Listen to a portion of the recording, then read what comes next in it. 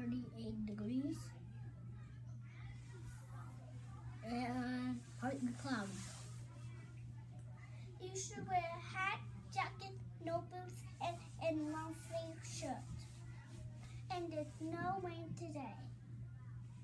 Partly cloudy. Tomorrow. Tomorrow, tomorrow will be cloudy.